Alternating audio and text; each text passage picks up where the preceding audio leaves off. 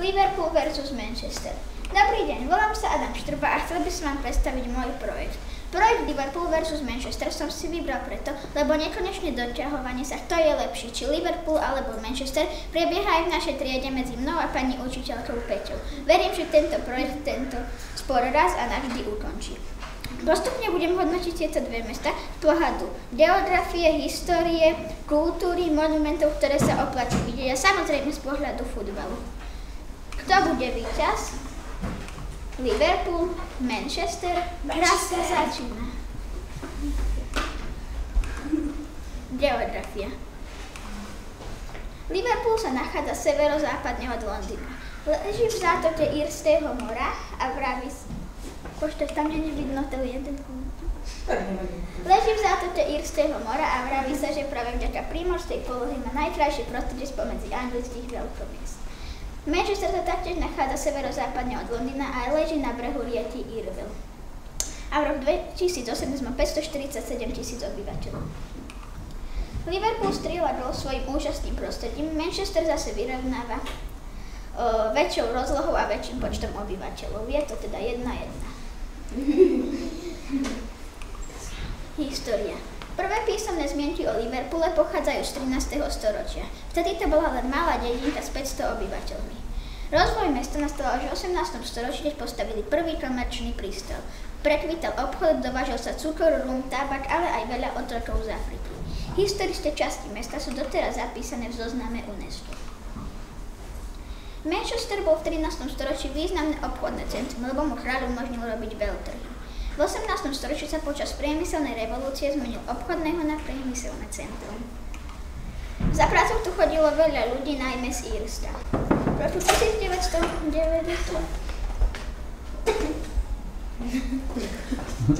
96 vybuchla bomba, ktorá zranila 200 ľudí. Liverpool sa dostáva do vedenia vďaka zaujímavejším historickým udalostiam a aj vďaka štvrtiam UNESCO. Zábava. V Liverpoole vznikla najznámejšia britská hudobná skupina Beatles. Na každom kroku cítiť, že Liverpool je hudobným mestom. Mestom Beatles. Koho hudba až tak nezaujíma, tomu odporúčam navštíviť Liverpool Spaceport. Múzeum vesmíru, kde sú rôzne izby zamerané na rôzne témy, ako slnečná sústava, kozmické lode či Star Wars. Nemôžete odísť z Liverpoolu bez toho, aby ste si pozreli Liverpoolský štadión Enfield Road. Bude to zážitok pre všetkých, či už ste alebo nie ste fanúšikom futbalu. Ak by vám naozaj nesta- nestačilo, poriadne divotý deň môže zažiť v Safari Knowsley, kde z vlastného vozidla uvidíte viac ako 700 zvierat, čiže zažijete Afriku na severe Anglicka. Manchester, aj Manchester dýcha futbalom. Určite sa oplatí vidieť Manchesterské múzeum v centre mesta, kde sú rôzne futbalové dresy, trofeje či iné suveníry. Uh, Manchesterský futbal nie je len múzeum. V Manchester hrajú dva svetové futbalové kluby. Manchester United a City, kde sa oplatí zažiť burlivú atmosféru na štadióne a aj ísť na prehliadku rôznych uh, šatní či sprch svetových futbalových hráčov. Koho futbal nezaujíma, tomu odporúčam navštíviť Play Factor. Je to najväčší zábavný park v Anglicku, do ktorého sa dá ísť hocikedy, pretože atrakcie sú vnútri. Alebo navštíviť Legoland Discovery Center. Je to vlastne detské ihrisko z kocier Lego. Liverpool zvyšuje svoj nástroj vďaka asi najznámejšej britskej kapele Beatles a ako aj neuveriteľnému Safari Drive.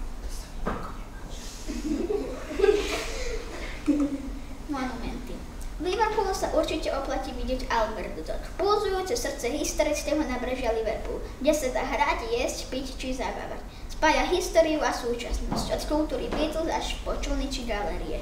Je to miesto pre zábavu s celou rodinou.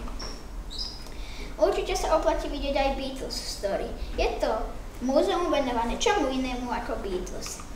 Alebo aj Blue Coat. Je to 300 rokov stará budova v centre mesta, ktorá ponúka celoročný program vizuálneho umenia.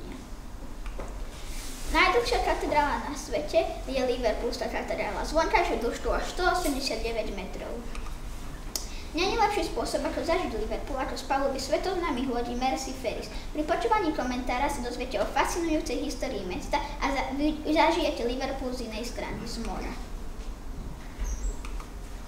Manchester sa určite oplatí vidieť Manchesterské múzeum. Je to najväčšie múzeum v krajine so zbierkou 4,5 milióna exponátov.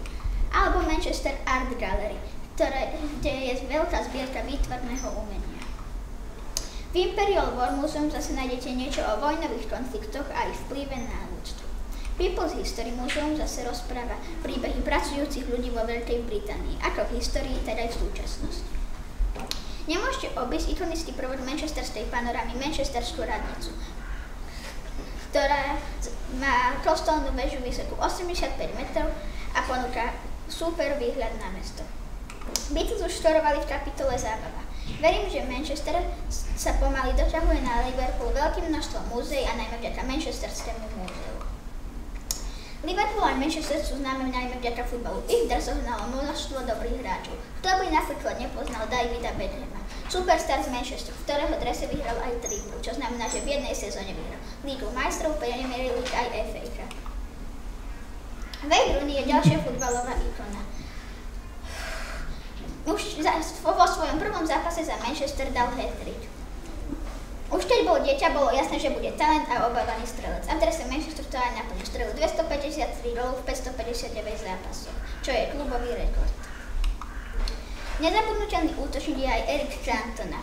Nekompromisný strelec, ktorý bol v roku 2003 hodnotený za najlepšieho hráča 10 ročia Premier League. Manchester mal Beckhama, Liverpool, Stevena Gerrarda. Kto by nepoznal Gerrardové legendárne vedenie lopty, prihrávku či strelu z veľkej ďalky. Bol skutočný futbalový vodca a v drese Liverpoolu vyhral Ligu majstrov. Nezabudnutelný útočník aj Jan Raš, ktorý strelil v drese Liverpoolu rekordných 346 gólov.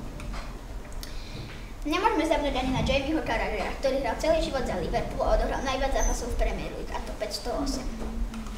Všetci títo hráči dosahujú svetový kvalita a preto aj teraz strieľajú gól, jeden na každej strane. Aj teraz hrajú za Liverpool ako aj Manchester neskutočne dobrí hráči. Kluby musia veľa nakupovať, aby ich mohli mať, ale potom ich môžu aj za veľké peniaze predať. Teraz vám poviem troch najdrahších z každého klubu. Z Liverpoolu sú to Mane, Salah a Trent Alexander-Arnold a všetci z nich stojí nad 110 miliónov. A z Manchesteru sú to zase Kevin De Bruyne, Raheem Sterling či Leroy Sané. Tiež každý stojí nad 110 miliónov. No celková jedenáctka Manchesteru, United a City, stojí dokopy miliard 23 miliónov, zatiaľ čo Liverpoolska a Evertonská iba 990 miliónov, čím sa Manchester dotiahol na Liverpool. Úlohou týchto hráčov je vyhrávať zápasy a získavať trofeje. Práve trofeje sú posledná kapitola v mojej knižke. Sústredil som sa na získanie štyroch najprestížnejších trofejí, a to FA Cup, Premier League, Európska liga a Liga majstrov. Manchesterské kluby Manchester United a City dokopy túto trofej vyhrali 48 krát. A Liverpoolské kluby Liverpool a Everton tiež vyhrali dokopy túto trofej 48 krát. Čiže obidva kluby strieľajú gól.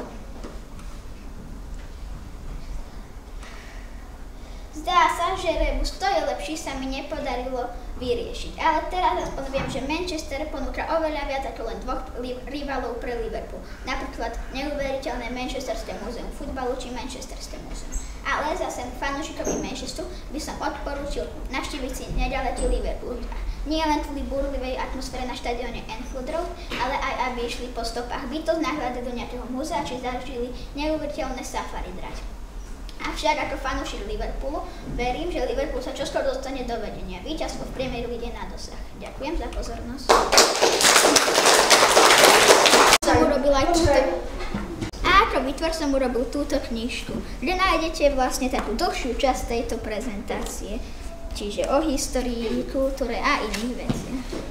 Ešte keď si vytvoril takú perfektnú knižku a na dôkaz toho, že teda je to 5-5, že nikto nevyhráva ani neprehráva, tak ruku na to, tak mi prosím ťa venuj tú knižku. Môže to byť? No ja mám to... ešte doma jednu. Dobre, takže to bude taká realita pre mňa.